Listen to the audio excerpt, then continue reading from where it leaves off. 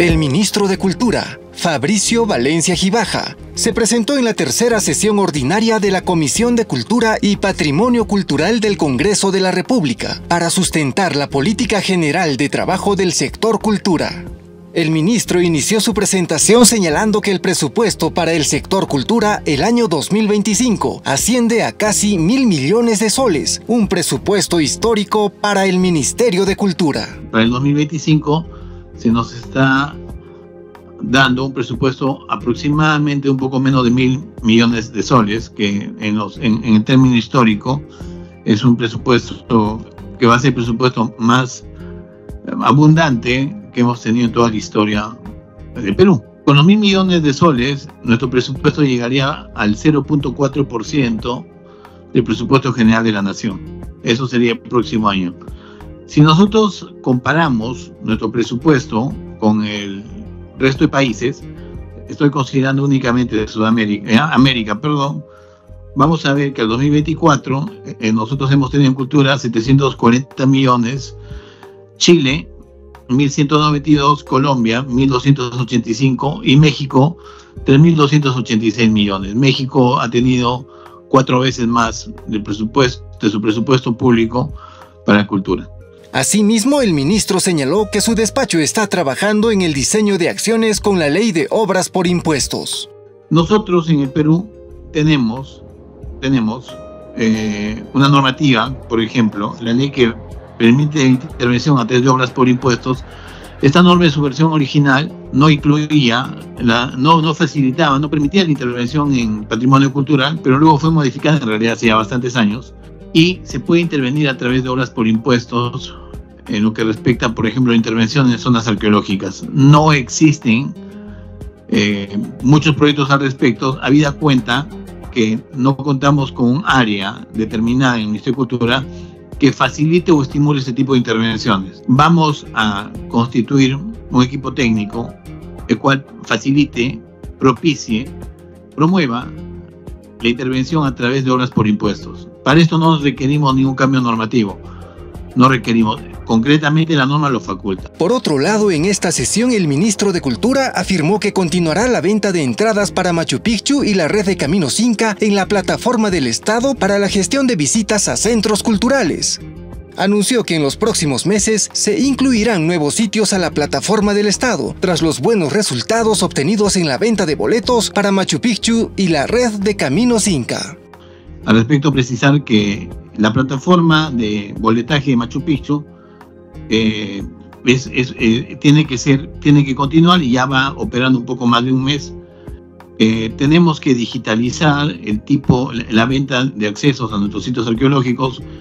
Estamos reaccionando muy tardíamente. Cualquier persona que ha visitado el Louvre, el Museo de las Américas, no sé, cualquier sitio o museo en Europa, uno puede comprar el boleto por el teléfono y pues, y pues resulta eh, un despropósito que nosotros estemos eh, eh, vendiendo boleto de manera física. La idea es tener un sistema de, voltaje completamente trazable, auditable, verificable, ¿no? y, y este, esta implementación en Machu Picchu sin duda va a ser implementado en el resto de sitios arqueológicos. A mí me, me gustaría, por ejemplo, que uno de los sitios sea Chan Chan o también este, Chavi, porque son los sitios que luego de Machu Picchu también reciben un, alto boletaje eh, en lo que respecta. Pero la plataforma de venta ya está operando, no hay marcha atrás en eso, se va a continuar y sin duda ese es el futuro este, de la gestión de nuestro patrimonio cultural. De la misma manera, el ministro cusqueño Fabricio Valencia señaló que para su gestión es importante considerar a la cultura como elemento de desarrollo económico, basándose en cifras de visitas al Parque Arqueológico de Machu Picchu el año 2019. Bueno, al 2019, eh, los 4.4 millones de turistas que recibió el Perú generó un movimiento económico de 17.734 millones. Muy bien. De estos 4.4 millones, tenemos un dato puntual, puntual. ¿Cuántos de estos turistas fueron a Machu Picchu? Estoy, estamos refiriendo a Machu Picchu porque es el sitio arqueológico más visitado del Perú. Sin duda, hay otros sitios. Pero esta data solamente, estamos utilizando la data que tenemos a la mano. Ese año, 1.2 millones de turistas visitaron Machu Picchu. y generaron en total un movimiento de 4.934 millones. Es decir, este 1.2 millones de turistas desde que llegaron a Jorge Chávez u otras vías de acceso generan un movimiento económico de 4.934 millones. Estos 4.934 millones, ¿cómo se distribuyeron? En la tasa que se paga por el ingreso a Machu Picchu, se generaron 193 millones. Y el resto valga decir, 4.741 millones no fueron al Ministerio de Cultura, se distribuyeron de otras formas, movieron la economía. Esto me parece un tema fundamental, ¿por qué? Porque si nosotros no consideramos la economía y la cultura, no consideramos a la cultura como un elemento de desarrollo económico, pues estamos viendo la cultura como pudo ser concebida hace unos 80, 90 años. Esta es una data concreta. Lo que quiero mostrar es de 4.000 que las personas que han visitado Machu Picchu han movido la economía en, 4.934 millones de soles en total.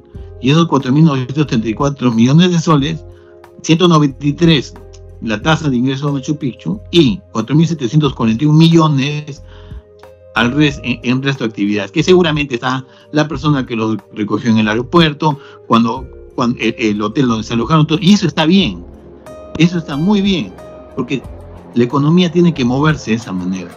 Entonces, este enfoque económico que nosotros tenemos para esta gestión es fundamental, porque si no estimulamos la inversión privada en el patrimonio cultural de forma responsable y supervisada, pues vamos a estar en el mismo escenario que tenemos, en el cual nunca el presupuesto general de la nación va a ser suficiente. A más de un mes de su implementación, el ministro de Cultura destacó que más de 200.000 boletos se han vendido en la plataforma del Estado para visitar la ciudad inca de Machu Picchu y la red de Caminos Inca. Así, durante su implementación de la plataforma, se ha logrado recaudar más de 25 millones de soles hasta el 19 de septiembre en la venta de boletos para Machu Picchu y Caminos Inca. Finalmente, el ministro Fabricio Valencia señaló que el Ministerio de Cultura ha implementado el canal de atención Tu Boleto, un servicio gratuito para brindar asesoría personalizada sobre información, consultas y o sugerencias que puedan surgir en la compra de entradas a la ciudad inca de Machu Picchu o la red de caminos inca.